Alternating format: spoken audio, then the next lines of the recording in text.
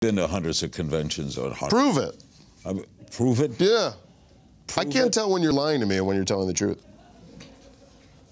I've been to many conventions. Oh, yeah? Yeah. I don't think so. I don't have to prove it to you. Well, yeah, I think you do. What is this, a court? Yeah. What convention? Name one convention. 1960 Democratic Convention. Los President Angeles. Taft. He's a big brother. I can tell you're a historian.